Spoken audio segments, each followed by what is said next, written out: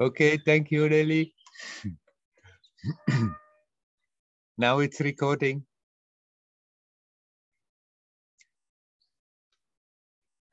I've just talking about it, how we are attached to our story.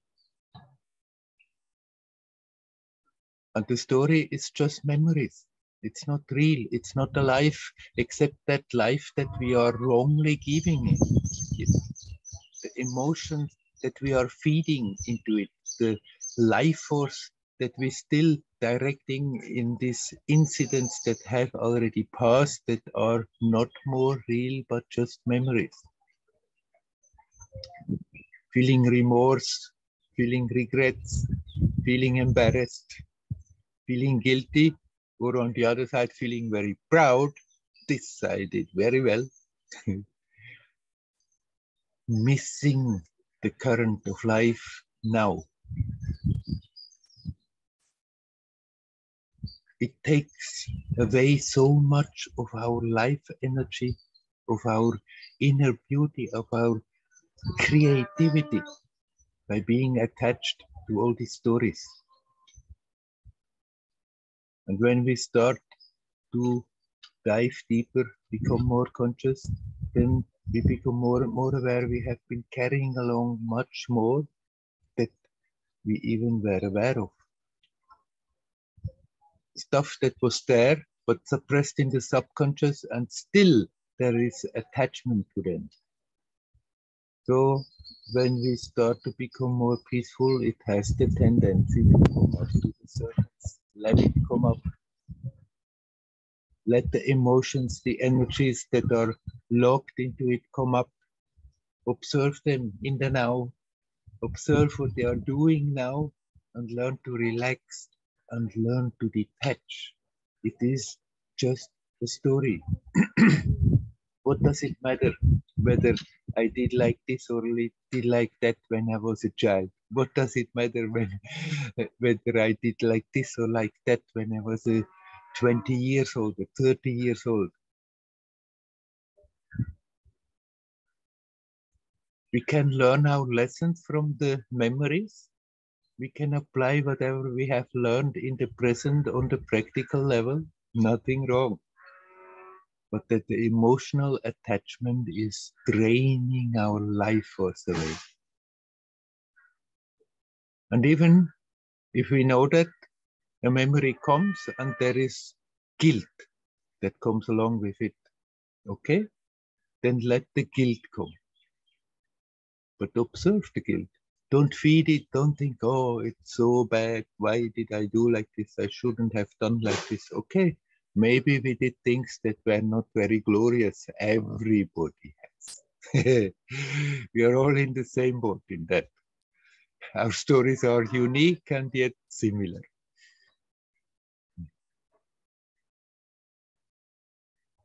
Let the embarrassment come. Let the guilt come. Observe also that. Observe that feeling, what it is doing right now, and relax and let it go and let the attachment go, the attachment to the past. The past is just a story. You are. You are alive now. You are alive and consciousness, conscious now. You are alive and conscious and full of creativity and joyousness and love now.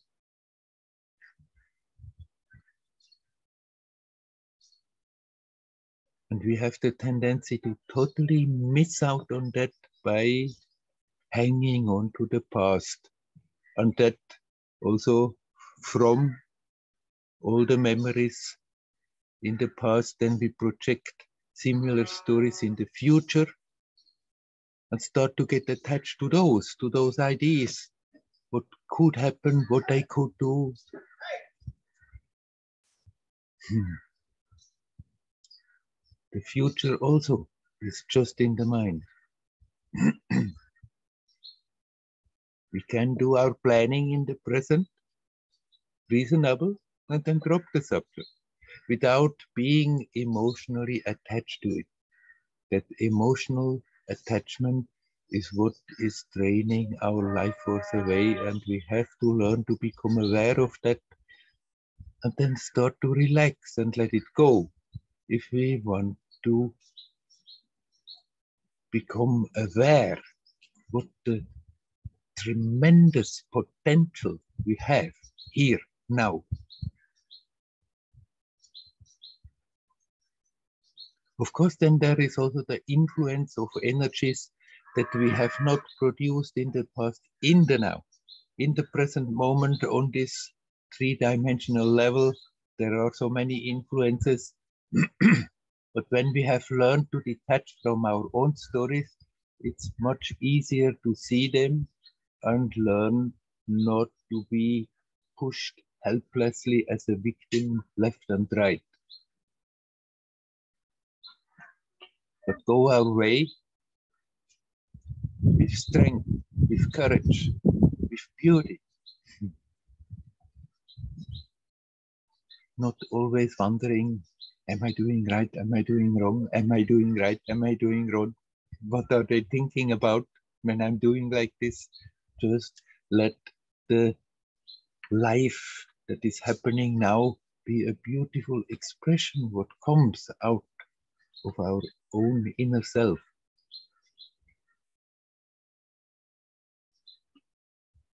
Then even in this world, life becomes beautiful and joyous.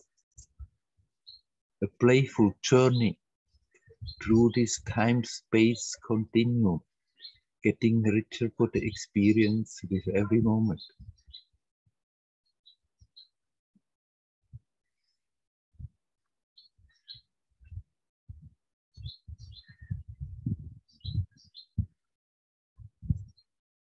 That's what we are here for. To learn to be in touch with reality, in the flow, consciously alive. And then learn to deal with that in such a way that it is not pulling us into negativity and destructivity.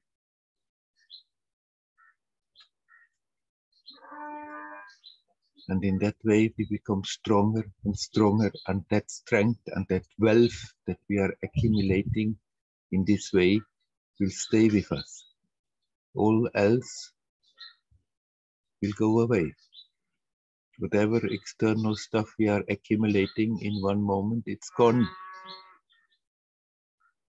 At the moment, we leave this projection, this three dimensional time space continuum. Once we go out, all is left behind but that strength that we are accumulating while learning to live conscious in the moment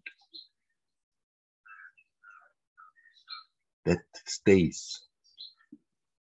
And by conscious living consciously in the moment doesn't necessarily mean I have to be try to be aware of every damn little little detail that is happening. Just to be conscious of being conscious, just to be conscious of being alive. And then we can deal with whatever has to be dealt with easily, playfully, joyously. And then the story is not some heavy weight that we are carrying, but it's a very valuable storehouse of information. We don't have to try to put a nice color on the past. We can very well see, okay, there I really failed, there I really did something silly. So what? It has happened, it's past, it made me wiser. So let's not be emotionally attached to it, but just see it for what it is information that helps us deal with the present.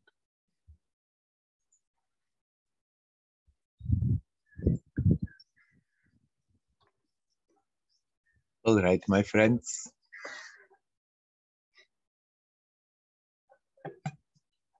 I stop talking just by myself and asking you Is there anyone who would like to come in and say something? You are welcome.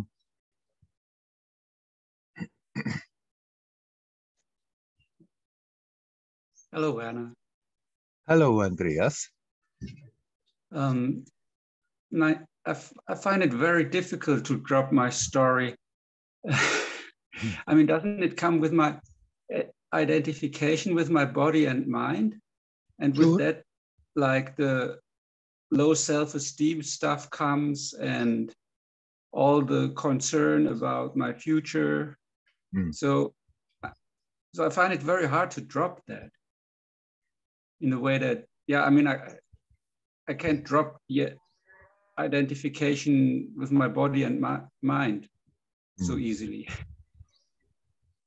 right because it's such a strong habit but it's good to have at least the idea to do so and to remind oneself to do so but not uh, because of the argument it's not easy to drop it then just give it up no, I'm, I'm not giving it up. I'm, I'm just find it. Yeah.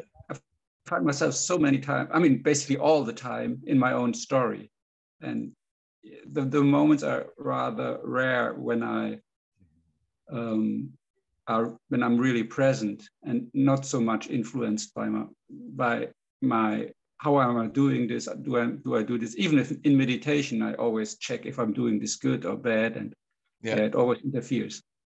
Right, but when you are when you become aware that you are doing it, then okay, let it happen. But in a way, when you are aware, you can just step a little back, a step back, and see the mechanism of oh, I'm doing it again, and see what is happening, and then you are already not more so emotionally totally involved in it if you observe it.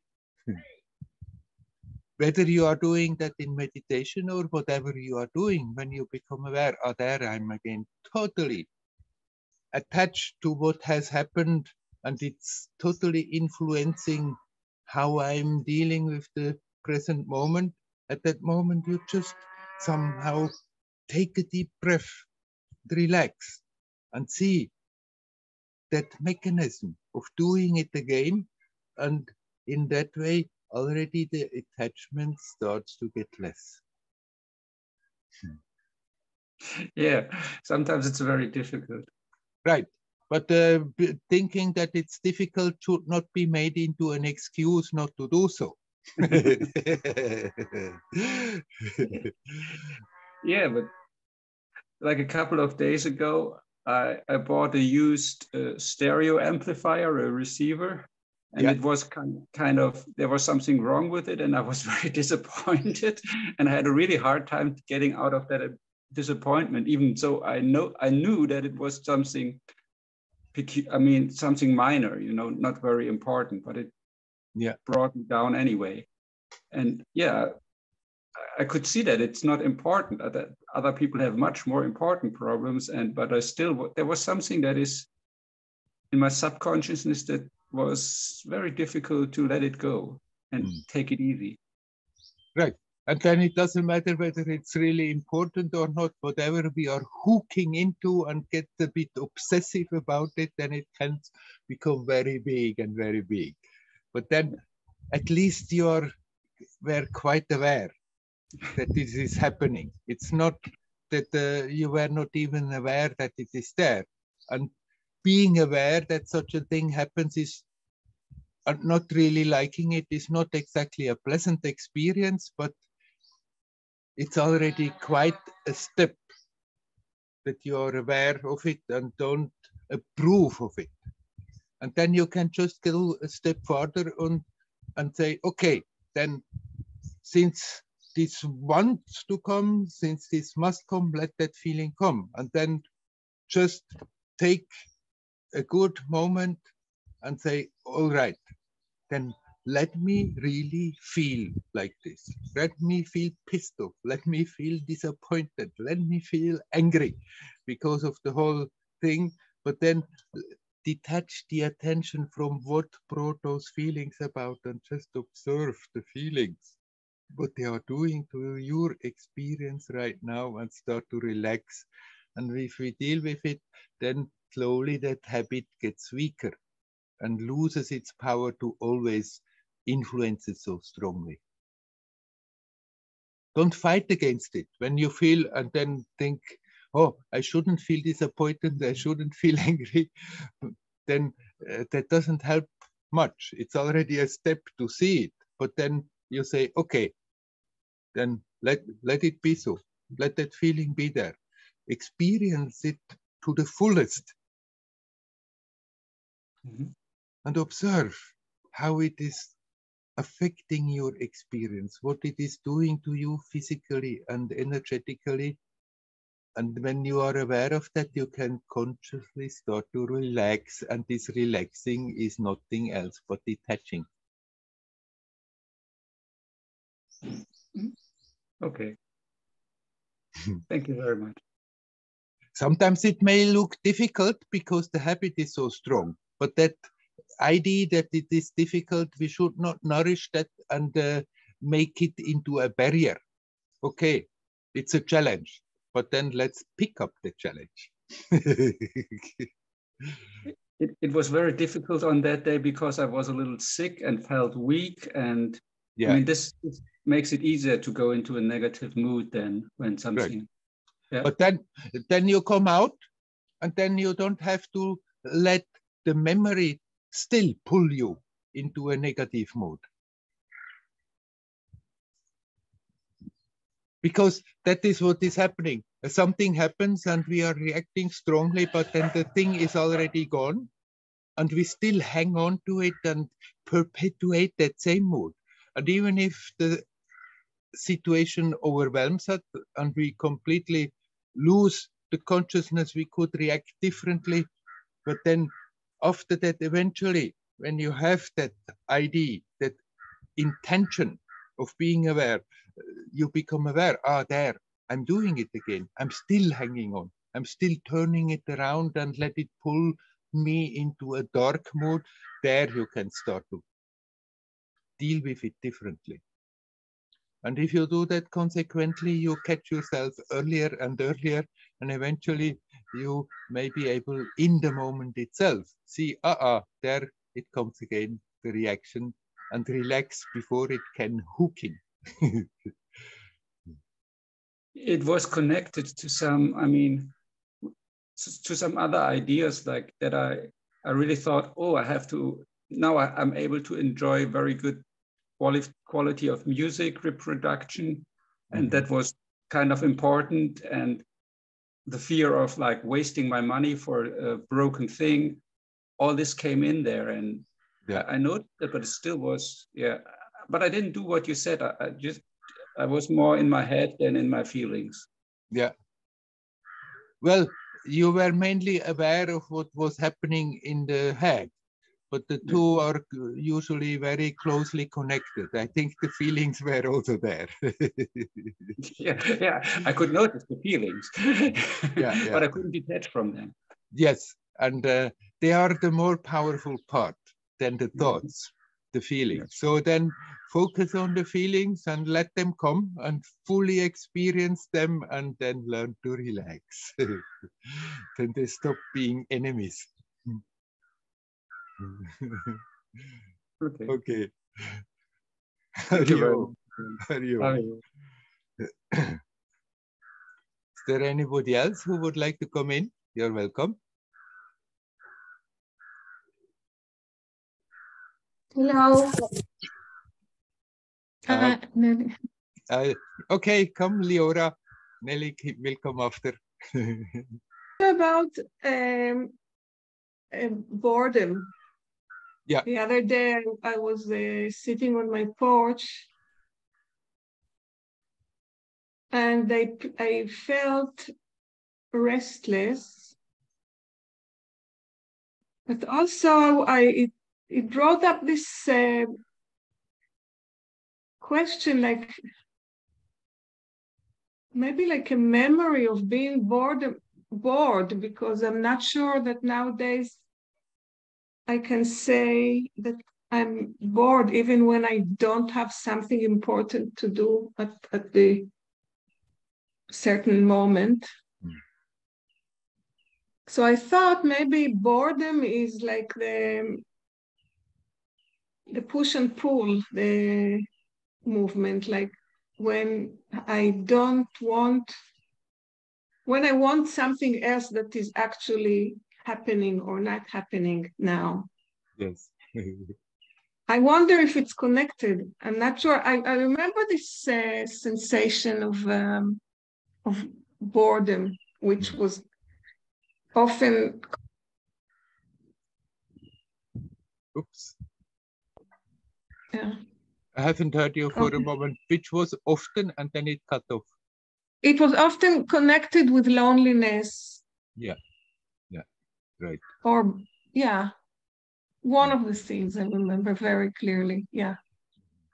So, what can you say about boredom? Boredom is also basically an emotion.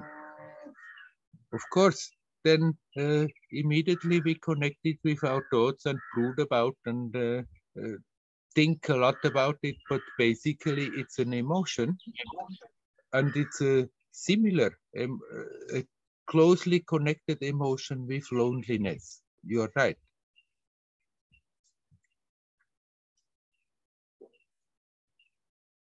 it's a bit more subtle to deal with that than like a gross emotion like anger uh, that is very clearly perceptible. And hmm. boredom is often also a bit connected with a feeling of lack of energy and, and stuff like that. So it's we have to be more attentive to really catch it clearly than like a violent emotion like anger. But hmm. still, if we become aware of boredom or related emotions, we still can treat it in the same way. Okay, then instead of trying to analyze and trying to think our way out of it, then just accept that is now my experience. That is now my feeling. And invite it even. Okay, then let me feel really bored consciously. and actually, uh, it starts to become interesting. Uh, the boredom yeah. goes if you observe, like a scientist in a laboratory, if you observe your own psychophysical manifestation, how it's reacting to those feelings, it starts to become interesting and you stop being pulled into negativity from it. Okay, it's an emotion, it comes, it manifests like this, and if I'm observing it and not feeding it, it's also going away. But I know that uh, I, I know people who are bored most of the time, but then that boredom is draining their energy away and they feel I cannot do anything. And so you tell them, oh, but uh, do this, do that. Oh, I can't. Oh, I don't want. Uh, you can do uh, something. And there always comes the, hmm, no, I can't. I can't. yeah. so it can become a total addiction. But uh,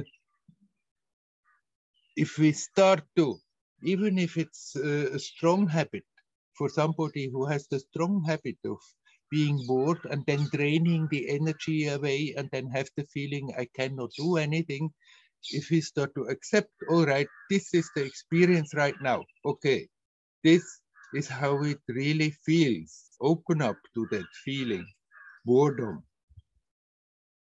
and observe it and see mm-hmm. what it is really doing. And then relax. And then the boredom gradually definitely will go away because it becomes interesting because you bring your attention to the present and here now there is no space for boredom. it's just that right. bubbling beauty of life. right. Yeah. Yeah. It doesn't happen to me often um, because if I really look into it, then I can say that maybe I need some movement now, or maybe I just uh, need to change position or um, anything, but it doesn't really bother me any longer as maybe it used to in the past. Mm-hmm. In the past, and also I often sort of train myself to just to to do nothing because um, um, as I'm aging, I don't feel I need to do so much. But when when it's a bit bother disturbing, it's when I feel a bit like uh, lack of motivation and I don't like this, I don't uh, like that, and like like slight um, not depression, but like something, and um, that also doesn't happen very often. But um, yeah. Even, even if it's uh, not happening often now or the boredom obviously it has happened in the past and somehow the the traces are still there. And then in such right. a moment that comes up. And then you accept okay even if i'm not usually a victim to that now so for the time being if there is still some weight hanging onto it in the subconscious because of the past, then let it come. Let it come up and deal with it now. Uh, and then also the rest of that habit that is still there uh, can be just mm. neutralized. Yeah, good. and you said you in the beginning you said you became restless and you felt it was connected to that whole thing. And then uh, let let that restlessness also be there and say okay yeah. I'm not at peace i'm not at ease. There is that feeling of restlessness uh, but accept the feeling and observe the feeling and see what it is doing to your experience and learn to relax and then also that restlessness passes of course. Yeah of course. Uh, so sometimes there comes this uh, voice of uh, criticism like uh, yeah don't don't look at your phone. You know I, I, I have the tendency nowadays to look too much for news about yeah. what's happening and yeah and facebook to see who said that and who said that maybe something will uh, cheer me up a little bit or something about this situation uh, so then I sort of criticize myself. But then I go to the subject which you spoke about today, about mm. not me, me, me. Yeah. Uh, so there is a reaction. So I do this. So it doesn't matter any longer. I mean, uh, yeah. It's everything is it's it's okay. I, I don't as long as I don't hurt anyone. So I do this. I do that. It's not perfect, but fine. Right. Good. Okay. Shall we leave it at that? Yeah, yeah, right. yeah. Okay. Thank Hari you. Hari Om. Nelly, would you like to come in now? Yes, there hello, Werner. Hello, Nelly. Uh, I want to to ask something and share. Yes. Oops. Remember my mother's uh, my mother's uh, death and how I came and see her. And this is really very um, unusual experience for me. And I often remember this, how I saw her and uh, uh, I saw Sorry, that... just that I understand what you are saying. You saw her when she was dying or you saw the, her body after death? What are her body. When, ah, yeah, yeah. Yes, because right. I, when I came, she was already died. Yes, yeah, she was right. on the floor. I saw her body, and uh, I. Um, it was amazing for her, that, for me, that I um, I took it like not my that this body is not my mother, but hmm. this body is like a left house, like yes. empty yes. house that uh, this is a house uh, that she left. Yes. Uh, and uh, it really, um, it seemed to me that she's near me, that she's some here near me, and I just um, I, I thought that she's in the uh, uh, certain corner of the room yeah. looking at me and uh, didn't want me to worry about it. it it's like I I uh, felt. I don't know if it is my imagination or it really can be like this. But this um, feeling really that this body is not her, it, it's very clear for yeah. me. It was very clear. And even when we uh, were, uh, when we came, when, when she was in the coffin and we came to her and I touched her and someone cried, but I felt it that this is not she, this is just mm. empty house. Yeah. And yeah, and I just wanted to to ask you what do you what do you mean about this my feeling in the room that I it, it seemed to me that she was near looking at me. I yes. don't know.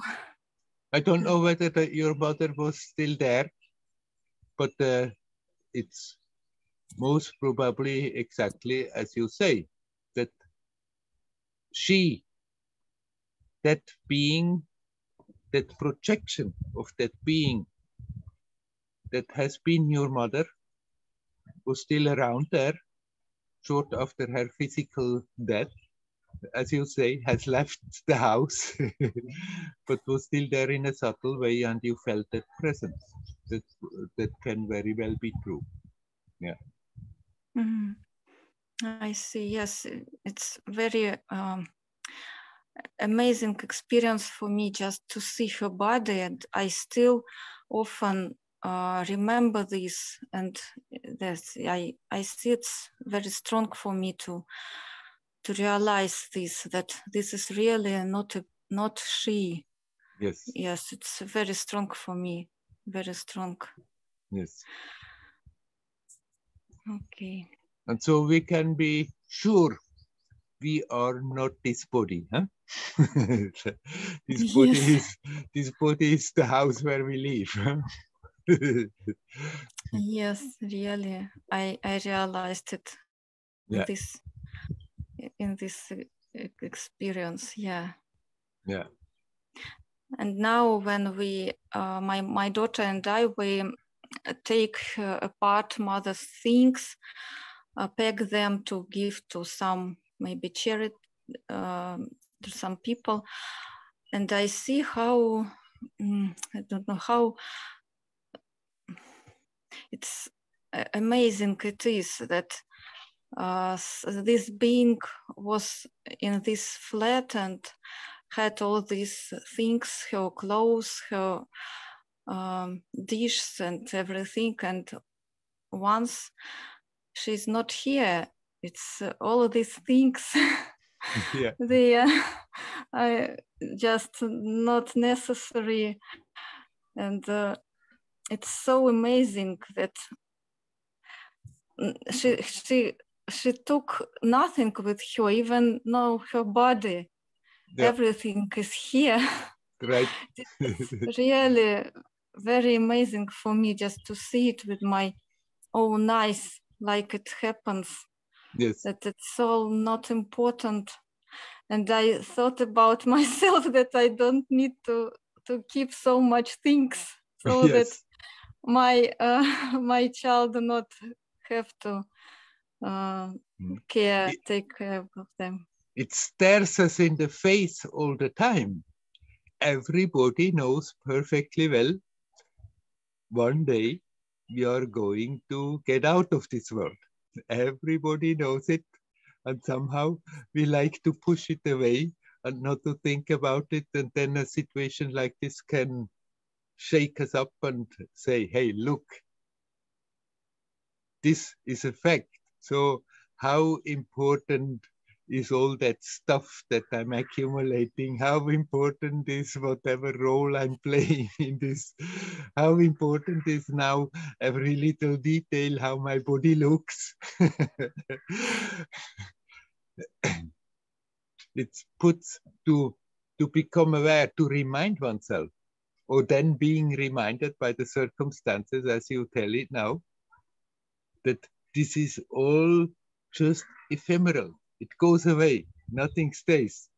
It's a very good way of getting healthy proportions, healthy attitudes towards these material accumulations, the material wealth, the material story, the whole thing of it.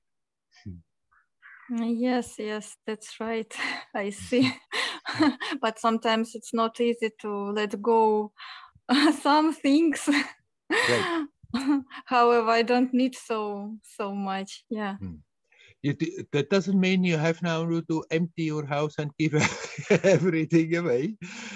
It simply means we can learn to be not attached to it and then it's also easier when you feel something is really doesn't help anything it's just taking away space and it's more of a burden then it's also easier to get rid of it but it's mm-hmm. more a, a question of the attitude that okay somehow the story is that i have certain things nothing wrong in it but let my well-being not hang on to it be dependent on it when it's there it's there when it's not there it's not there Yes, yes, I see.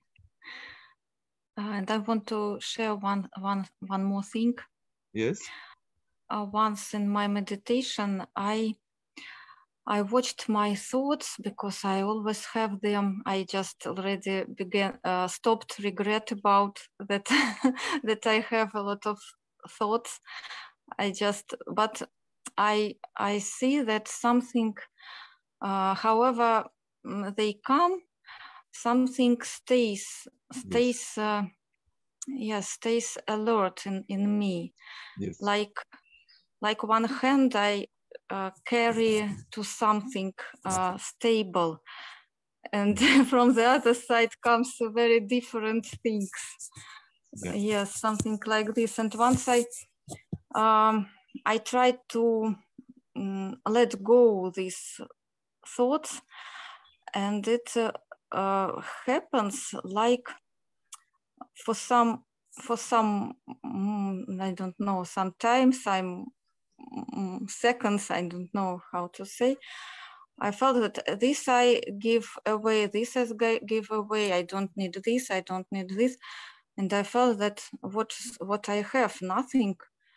And i felt some emptiness mm. that i am nothing really. If i don't if i take away all of these thoughts all of these things and just like something that what am i? I'm nothing. I, I am empty and just like i can be that the best um, thing that i can do is just to take away all these things. And then i become just li- like a channel th- through which something beautiful can come. So it's not me but i don't know. It it is it is like it is here but it's not in me because i am just a channel that can uh, can uh, let it go through me but it was not for a long time and uh, and then I, oh, you disappeared, Werner. Yeah. Um, I don't, ah, yes, I, now I see you. There is somebody come in. Can you please turn off your microphone? I don't know the name. It's just Galaxy S10 Lite. Can you please turn off your microphone? You're slightly interfering. Anyhow, Nelly, you see me now? Yes, now I see you. Very good. Yeah. Oh, right. Thank you. it's off. yes, and I, and I couldn't, uh, I tried to uh, repeat this experience, but it is now, it's not easy. And uh, because I stick to these thoughts and um, difficult to repeat this. Right. It, uh, it has also happened. It's not really that you did it that experience. It has happened. What you can do what we can do with our practice is make ourselves available that it can happen. and then it's not in your hands that uh, an experience like this happens and how long it stays and how often uh, it comes back but you can make yourself available by being alert observative and relaxed. I see okay. Right. okay. But Thank it's nice. It's a good inspiration if you have such experiences becoming aware okay all this stuff comes and goes and comes and goes but there is really something that is not coming and going. That simply is. yes. But that emptiness that didn't frighten you. You were not afraid of that emptiness. I'm asking actually. Are you were you afraid? Uh, afraid of emptiness? No. Yes, you I... said it was empty. You were no, I afraid. wasn't afraid. It, yeah. it, maybe it wasn't so bright experience. It was just uh, I was free from my thoughts, and it was so um, uh, so unusual. unusual, yes. Yeah, you're right.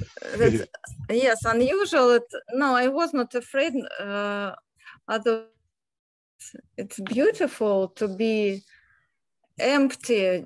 It's yes. it's very interesting. Yes yeah. that, that, i i really don't want to do something to i just want to i just need to relax to let go. Yes. Mm. And think that that i should do. Yes. Very good. Then that's not that's great because sometimes uh, for some people then when something like this happens there comes fear fear of emptiness. But if it's not a problem then so much the better. Yes empty the mind. An empty mind is no mind. And then there you are. Of course you are you said and i was just nothing. But uh, you're not nothing. You are simply not a thing but you are nothing and everything. You're empty and you're full, but you're not all these waves that come and go where one is hooked with the attention most of the time. So it's great, but the, don't try too hard to reproduce the experience. Simply be open, be in the moment and relax and sort of inviting it but not trying to do something particularly to bring it about. Okay, okay. Yeah. Thank you. Thank you, Werner. Very good. Hari Om. Hari Om.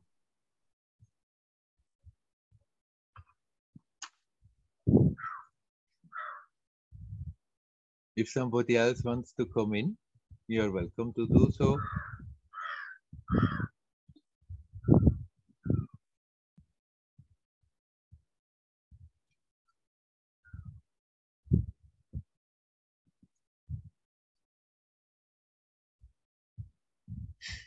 So uh, I would like to, yeah, hi again. I would like to somehow continue what Nelly has just described. Um, I wonder about being the observer, observer, like when there is a space somehow between, uh, this is what I experience. I'm not the observer, but I'm not me also. Mm. Uh, there is the, the sensation that somehow I can hold my reactions back. I've been, it, it's been happening for a long time. So they don't even become reactions that it's like just the beginning of of this uh, memory uh, opinion um, other ingredients. I'm not sure. And then it, it's a reaction. This thing usually can happen really fast in yeah. any given situation. Yes. So um, what I feel is um,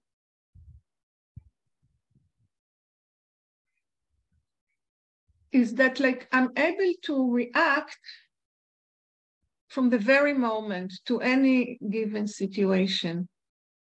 Sometimes afterwards I would feel uh,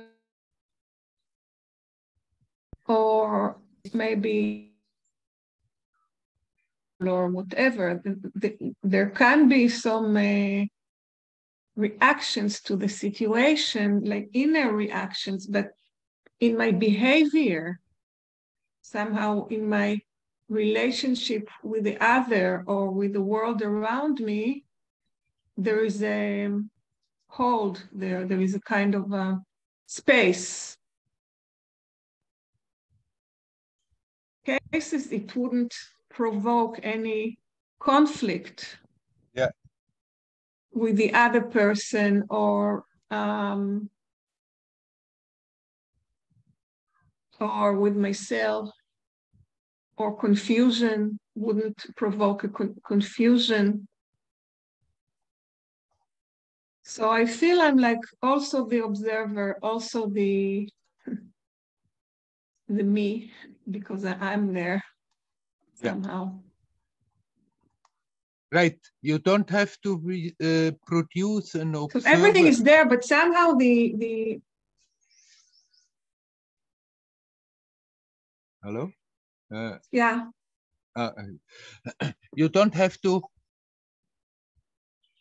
produce an observer because if we do that, then it's again a construction in the mind that yeah. there is an observer who is observing thing but then that's just again uh, another personality that we are creating. So it's more uh, becoming aware something is simply there and observing anyhow all the time. That observation simply happens continuously. And if we produce the observer then we have to observe the observer and then if we produce an observer who is observing the observer, we have to again observe the observer of the observer. then it's becoming as heavy. Yeah. yeah.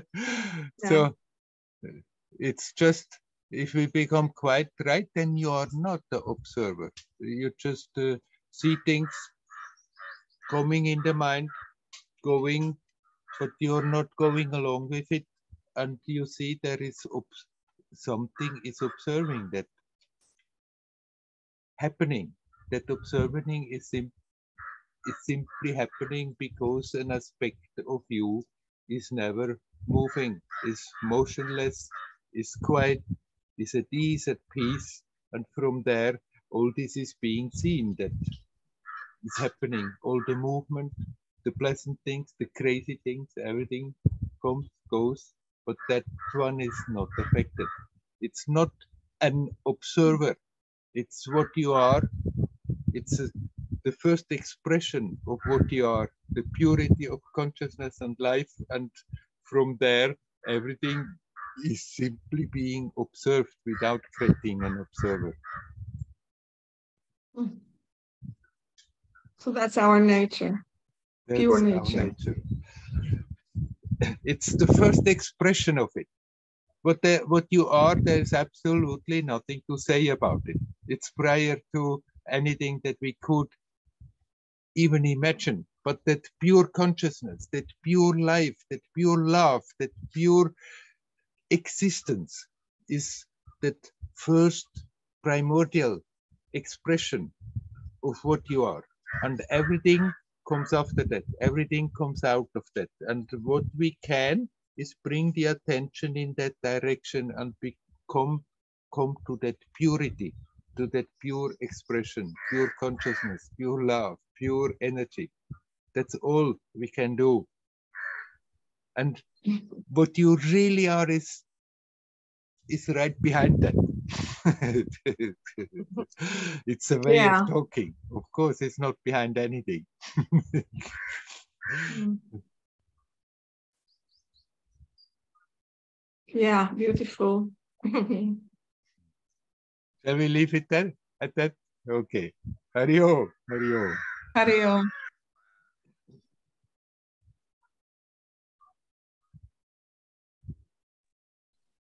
I see one camera is on. Yes. Ah, hello, hello Malu. Hello. Where are you? Uh, in France, back oh, in Europe. I see. Yeah. um, something that stuck so much with me was this oh. talked so much about being natural and coming yes. back to our naturalness and i realized that even on my spiritual path i tried so much to do something to be someone yes. to be to fit in the box of being a yogi and being a meditator and um, so it's really something um, i feel that is so important for me to stop trying to do things and to fit into something but now I can see, especially in meditation, for me, it's a very fine line between not trying to do something, but then also there's a little sense of laziness coming up, I feel, yeah. from the mind. Oh, I can just sit there and, and being, and I don't have to do anything. Yes. Right. Not do anything doesn't mean to become lazy. Mm-hmm. right that's uh, very good that you see that distinction. The one thing that that you see was actually there, and most probably you needed that. It was an inspi inspiration that you hold on to that image. I have to be a yogi, I have to be a meditator that inspired you to go on. But then, uh, what helps at a certain moment, uh, it at a certain time it becomes uh, it's time that we let it go because then it becomes rather a hindrance. But then letting it go exactly there we have to be careful that we are not doing the opposite and becoming lazy. By all means continue your practice continue your meditation without having that image i'm a yogi i'm a meditator i'm I have to be somebody. Simply mm-hmm. because you have done it all the time and it's a very efficient means to become aware in the present but you can become more relaxed about it without thinking i have to do this and to do that in order to achieve something just mm-hmm. as a help to be in the present to be alert now mm-hmm. mm-hmm but i feel especially when i'm sitting in meditation and if for example we use techniques to calm the mind to become present yeah there very fast for me also comes the sense of i need to push myself to with these mm. techniques and right. and but then when i when i just sit without doing anything then i feel there is a bit of this laziness going it depends whether you then in that uh, not doing anything, just start to daydream away. Mm-hmm. And then you can say it a little bit of laziness comes in. But when you catch yourself doing that, then bring yourself, find a way to remain alert without having that idea I have to push through something. You know, mm-hmm. I know perfectly well what you are talking about this. I've been pushing and pushing and pushing, hoping that somehow I uh, periodically getting so desperate and impatient, thinking that uh, if I'm just pushing an enough, somehow I'll break through. but most of the time, it just started to make me more restless eventually. give me a headache. that is some very subtle thing to learn to be sincere without having that idea that I can really do something. I cannot do something to get closer, but I can do a lot to feel more estranged. I can do a lot to create barriers. And that is the job to become aware where we are doing the opposite. Hey, hey, don't be so noisy here. He looks at me very provocative. don't get me.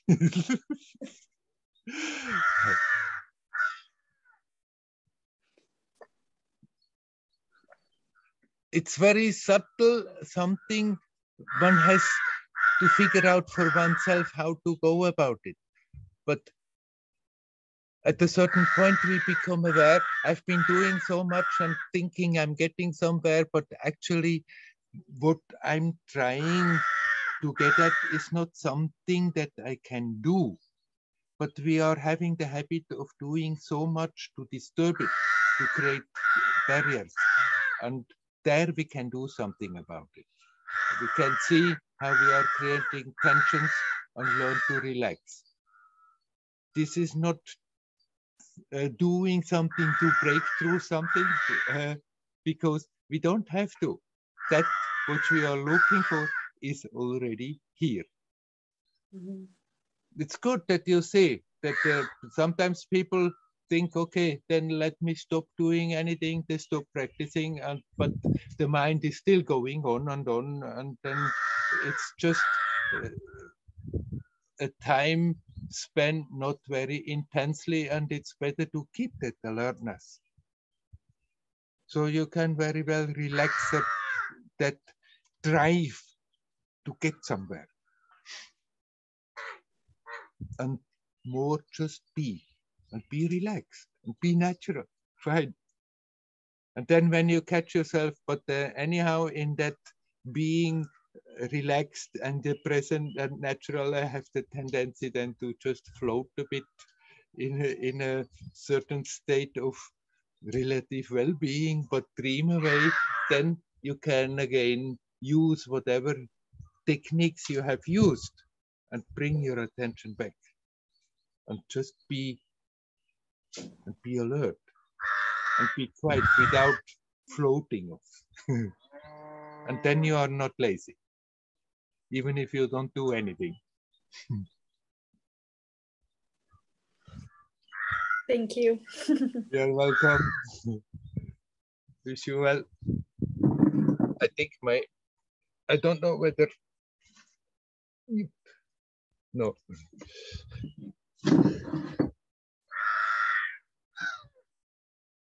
repeatedly the computer told me my internet connection is not good and I thought maybe it's really the physical connection, but the physical connection is fine. So I hope we can continue without trouble. All right. Is there anybody else who would like to come in? You are welcome.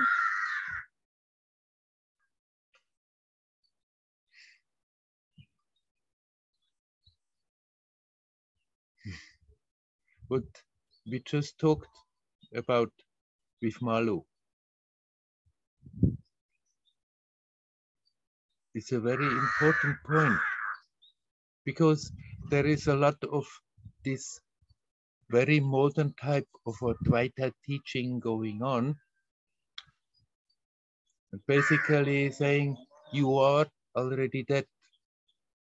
Don't do anything. All the doing is just strengthening the ego instead of helping, it's disturbing. And then people say, okay, I am that, I'm not doing anything, not being aware how the mind still can continue with the same mechanisms all the time, creating the same pains, creating the same sufferings, creating the same obstacles.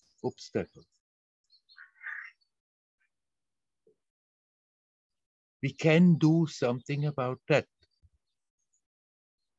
As long as we are unconsciously doing a lot to create obstacles, we can consciously do something about that. We can at least remind ourselves to be aware, to observe.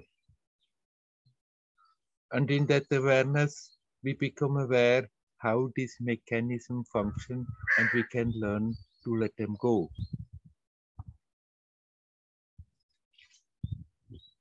It's not really to attain something. That is something in the beginning, every seeker, every practitioner has more or less that idea, okay, I'm picking up the practice, I'm doing something, and eventually it will get me somewhere. I will get something out of that practice.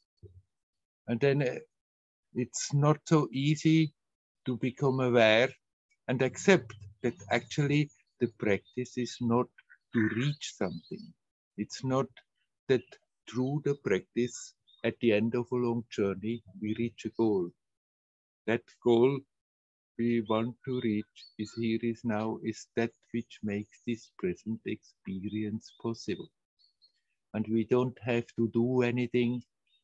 We cannot do anything about that because you are that all along. Without that, there is no experience. Without that, there is no story. Without that, there is nothing. and there it becomes a very subtle balance one has to find when one becomes aware, okay, my practice, my pushing is not to get me somewhere, but to become more alert. And then each one has to find for themselves that subtle balance of letting go a bit, drive, getting somewhere. At the same time, not becoming dull because of that and think, okay, there is nothing to gain, there's nothing to be reached, it's already here. And then just sort of get in a mental daze because of that.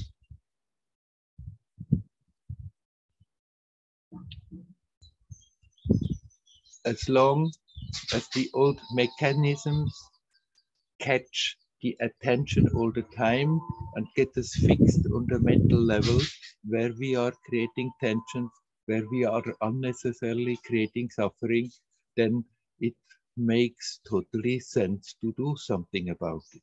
And regular practice helps. But we can become more playful with the practice. We can become more aware, okay, it's not to reach something, it's not to be somebody because of the practice. It's simply that practice helps me to keep that alertness to see where I'm creating that estrangement from being natural and then seeing that we become more capable of letting it go, of relaxing, of becoming natural.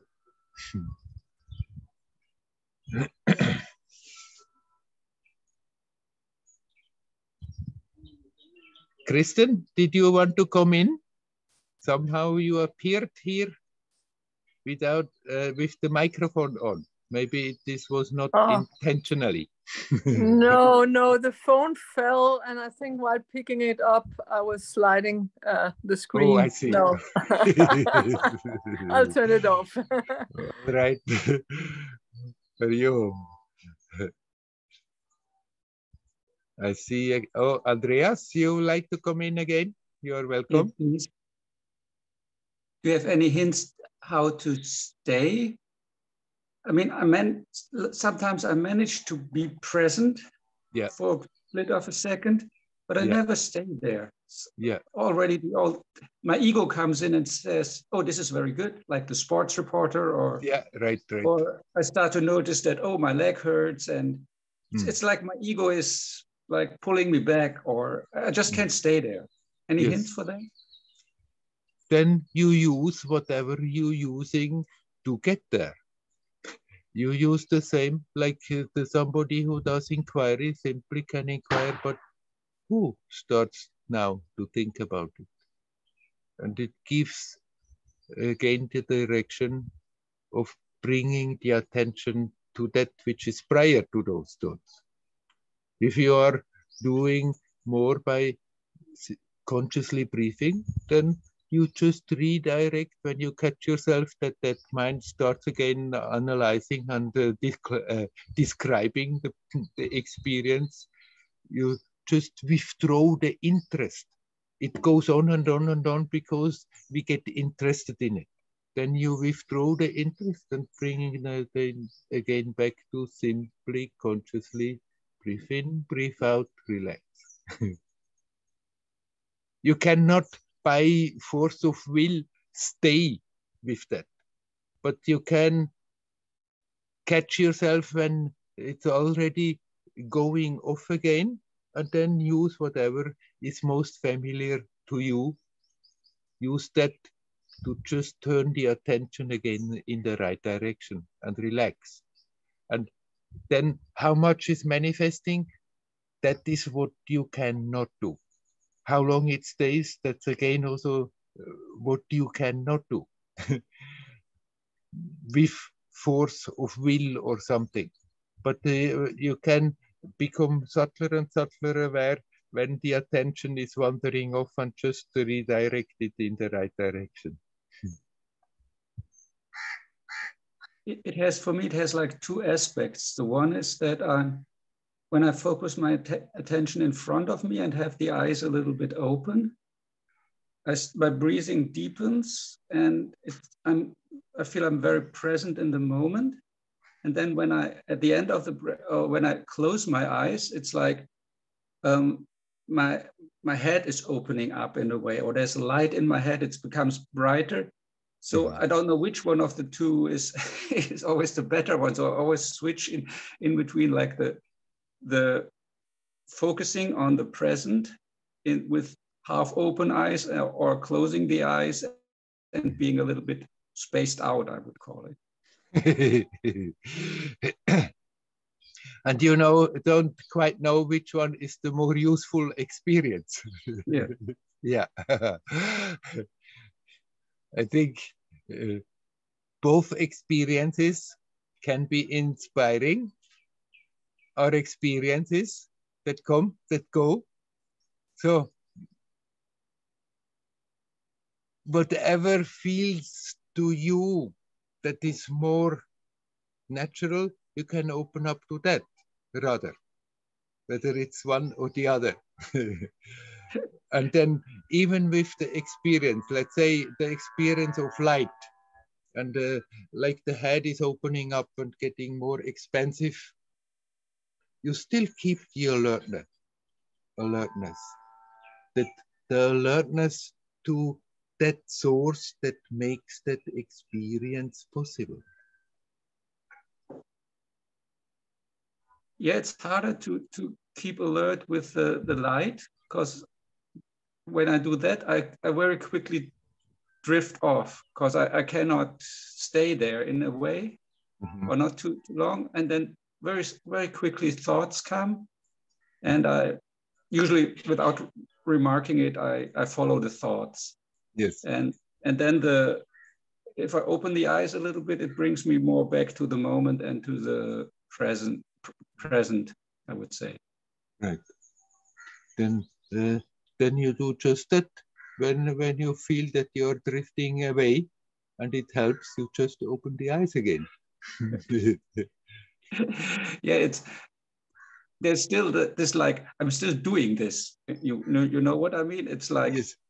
I cannot. But, yeah, I know but, that not, not, doing is not doing anything is very difficult. Right, but then uh, don't get hooked on up on that. Oh, but this is still a doing. Your thinking is also a doing. Your drifting away is also a doing. So then you can very well neutralize that what you are doing there without wanting it and not quite consciously with a conscious act and then relax. There is nothing wrong. That, uh, that is part of this, this teaching that is misunderstood with that not doing. That doesn't mean that you should do nothing because as long as we are doing these things like drifting away, you're doing something. And then there is absolutely nothing wrong. Consciously do something about that. Bring the attention back, even if that is a doing. And here now you can relax again. so in this there is a certain amount of will force in that the, the bringing back and the centering uh, to learn to do that uh, we we need more will but then it, more and more it becomes just consciously redirecting the attention and let go than an act of will. Because I, this seems i mean it's hard to describe but it, it seems very easy in a way to to do this with a, some kind of i'm here now and i just redirect and breathe out which as a very simple thing. Whereas before I always thought, oh, I need to have very subtle concentration and very fine um, feel, feeling to really do this. And hmm. this right now, this doesn't, this, this fineness doesn't seem to be necessary anymore in the way that it is, it's happening by itself when, right. when I'm there. Right, then stay with that simple thing. And don't uh, think because it's simple, it's not good. The simplest things are the best ones.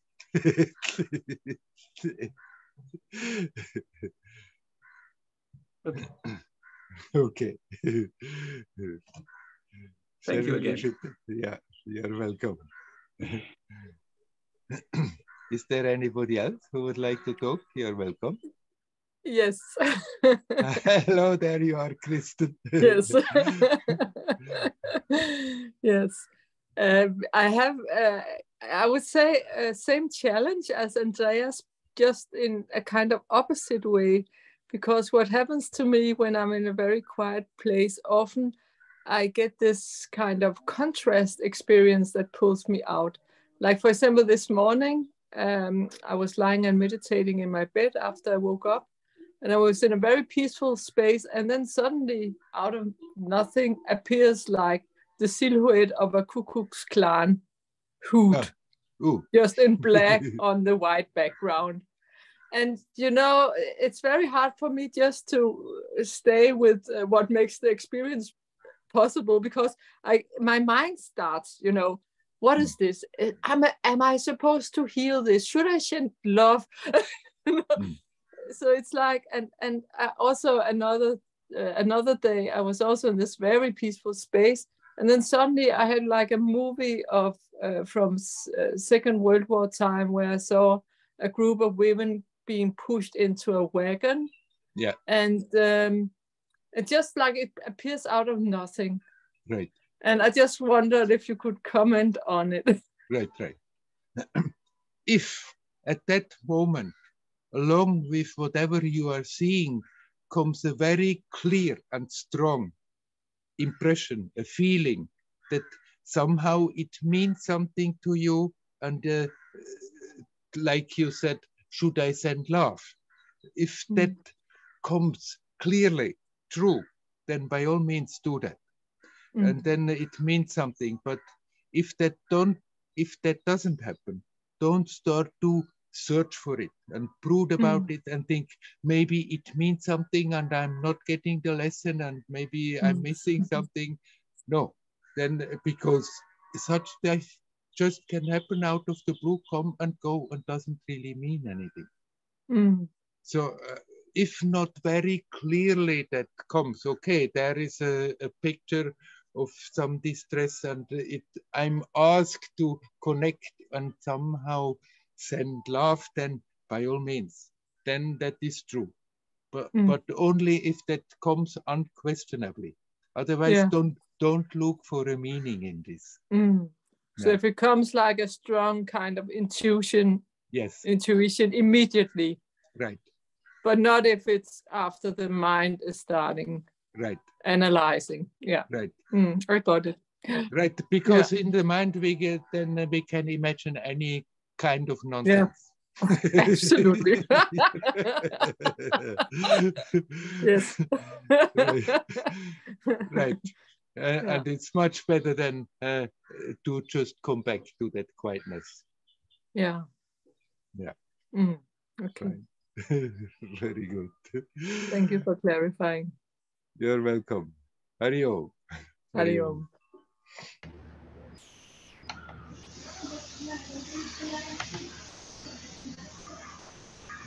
Hello? Hello, and Vikas. hello. How are you? Quite fine. I, I went through your history uh, last time. Yes. As you had suggested. So I keep wondering what you were doing in that cave for 10 years. well, as good as I could, I did nothing. no, but uh, there were different.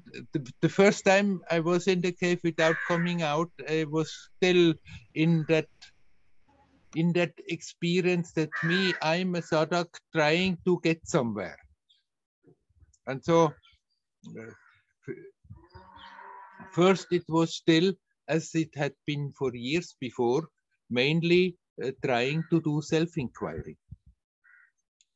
With a little yoga at the side, with a little mantra at the side, but doing mainly self-inquiry. And at a certain point, this shifted a bit that the yogic aspect became more predominant, that instead of just focusing on consciousness, I started to focus on prana. And to become more aware of prana, I started to work with the breath. And at that time, I still had that feeling like Marlo described that I have the feeling I have to push through something. So I built up a whole program of breathing exercises. And, but uh, actually the point was through being aware of the breath, I became more aware of the prana, of the energy, which is equally subtle like consciousness. And then, but it was still a slight struggle because I felt I want to get somewhere, I want to reach something. And at the end of that period, after quite a very difficult period of struggling even more, things quietened down and then the whole attitude shifted of not more being there and running, trying to get somewhere, but learning to just be here now for everything is already here. Then I left the cave, went to Tiruvannamalai for two and a half years, but then after that I returned. And when I was again in the cave with coming, without coming out, the attitude was very much different. There was not more that drive of trying to get somewhere, sondern it, uh, but it just had become natural for me to sit. I've been doing that for years before, even before the cave was there. And then it was just my way of intensifying that experience of being in the present. So the second time, I also did for some time quite some strong breathing exercises, but it was more and more just uh, being in the present and intensifying that that awareness of being aware, that awareness of being here now.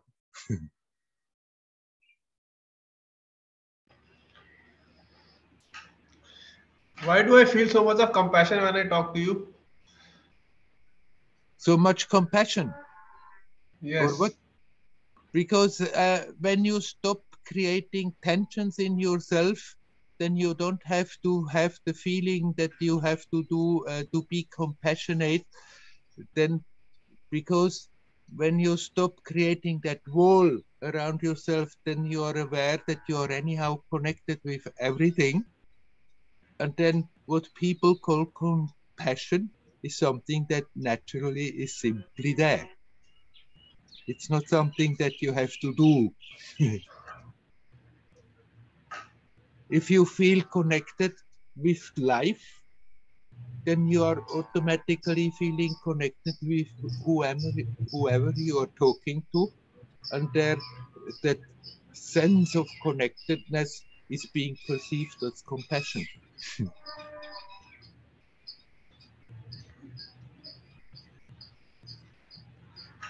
Thank you, Werner. You're welcome. Hari Om. Hario.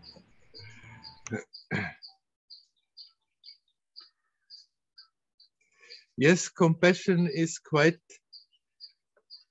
a tricky subject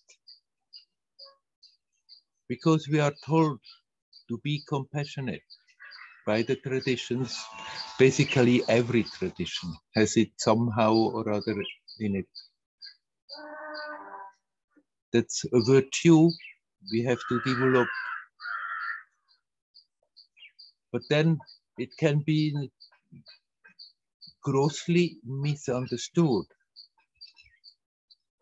And people sometimes think that uh, if I see somebody suffering, then my way of being compassionate is to to open up and then more and more they also start to suffer and have the feeling this is compassion. But actually all that it is doing is adding more suffering.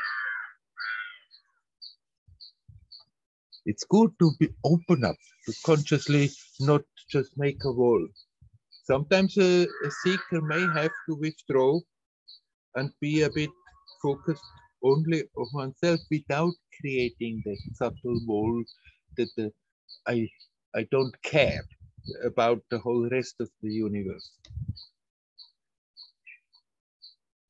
One can do a lot of good things in the world, thinking that's how I'm developing compassion.